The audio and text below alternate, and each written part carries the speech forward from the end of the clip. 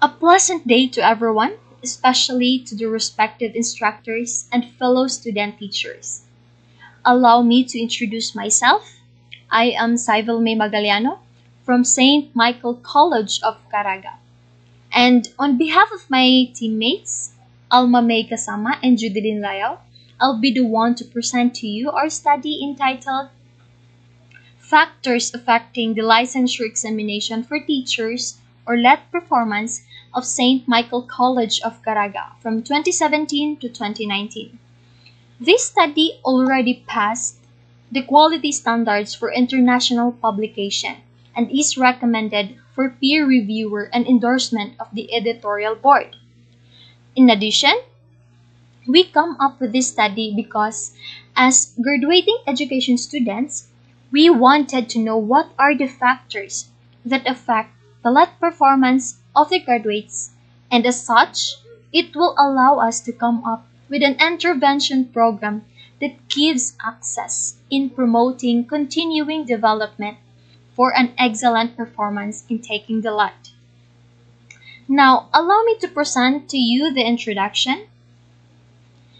The licensure examination for teachers, or LET, is a significant necessity, fundamental to qualify the passage into the field of teaching profession. As mandated by Republic Act number 7836 or known as the Philippine Teachers Professionalization Act of 1994, states that LET ensures and defines the competence of graduates to teach in the teaching field. Once passed, the graduates are now able to receive their credentials as professional teachers, along with the rights and privilege as a licensed teachers to teach in public and also the private schools. However, LET, on the other hand, encountered problems on how to provide a quality performance of the takers. That is why the main reason for the study was to determine the factors that affect the performance of education graduates to their licensure examination. And the findings of the study may enable the school to make an intervention program and to roll out significant improvements and guarantee the quality education of education students for better performance in taking the LET. So this study um, would help students, teachers, parents, as well as the school administrators as they would perceive more their participation and preparation for the teaching profession. Now, for the framework, our study anchored John Dewey's curriculum theory, Warren Simon's performance management theory of action, and lastly, Bernard Weiner's theory of attribution. So let's have first to the John Dewey's curriculum theory. Now, the curriculum theory argued that um, curriculum should be relevant to the students' lives. In relation to this, to our study, um, curriculum is one of the factors which played a major role in improving the LET performance of the graduates. Now, in the second theory, the performance management theory of action emphasizes competence of teachers as the basis of the performance of the graduates. It implies the competence of a teacher to utilize proficient guidelines efficiently to help, to guide, and direct his or her students to get a quality accomplishments. Um, teacher's competence is one of the factors of our study, which influence the behavior of graduates in taking the LET, with significant improvements with their performance. And lastly, of course, the theory of attribution reveals that student successes and motivation and this is anchored based on the result of our study, which you will further know later throughout the presentation. This time, let me present to you the statement of the problem, and it sought to answer the following questions. Problem 1. What is the profile of the graduates in terms of program, year in taking the LET, academic performance, or their GPA. Number of times in taking the licensure examination for teachers.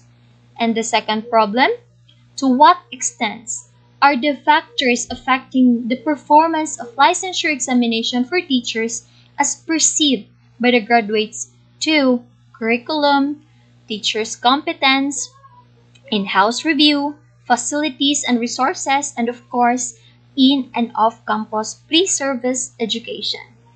Problem 3.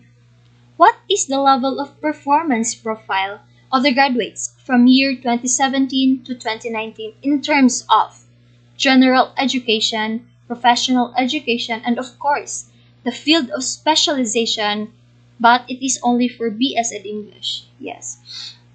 Problem number 4. Which of the factors affects the LET performance of graduates? And problem number 5. Based on the result, what intervention program may develop? This time, I will present to you our data gathering procedure. First, the setting of the study was in SMCC main campus, located at Barangay 4, Nasipit, Agusan del Norte, Philippines. The respondents were the graduates of teacher education of SMCC who took the LET and passed from years 2017, 2018, and 2019. Furthermore, we utilized the descriptive method design of the study to recognize the factors affecting the LET performance of SMCC from 2017 to 2019. We also utilized the survey questionnaire through Google Form, which consisted of a rating scale from 1 to 4. And 4 signifies strongly agree. 3 signifies agree. Second signifies disagree. And 1 signifies strongly disagree. More to that, the survey questionnaire is composed of mainly four parts. And these are the following. First is the graduate's profile. Second is the extent of the factors that affect the LET performance of graduates. Third is the level of performance. And lastly, which of the factors affect the LET performance of graduates. Now, furthermore, to thoroughly analyze the data, we utilize the following statistical tools to aid the reliability and validity of the test result, namely frequency and percentage computation, which is used to determine the profile of the respondents and their LET rating. Yeah. Second, weighted mean was used to describe the profile, the extent of the factors affecting the LET performance, and the level of performance profile of the graduates. And lastly, regression was used to describe the factors that affect the LET performance of the graduates from three consecutive years 2017, 2018, and 2019. Now let's have the summary. The summary of the factors affecting the LET performance shows that among 147 respondents who passed the licensure examination in years 2017, 2018, and 2019, it revealed that the respondents strongly agree in in and off-campus pre-service education as the major factor affecting the LET performance with a weighted mean 3.57. This showed that the mentioned factor does affect the LET performance of graduates as they should have related provisions, focusing on tutoring services, increased values in academics, counseling programs, and of course, adhesive training in practice teaching for preparation to be a licensed teachers. Um, hence, there are essential in overcoming the determinants for the performance of graduates. On the other hand, the weakest factor found to affect the LET performance as perceived by the graduates was the facilities and resources with a weighted mean 3.35. Therefore, based on the overall average as shown in the table, it revealed that the graduates who passed the licensure examination in years 2017, 2018, and 2019 strongly agree that factors stated affect LET performance with a total average of 3.48.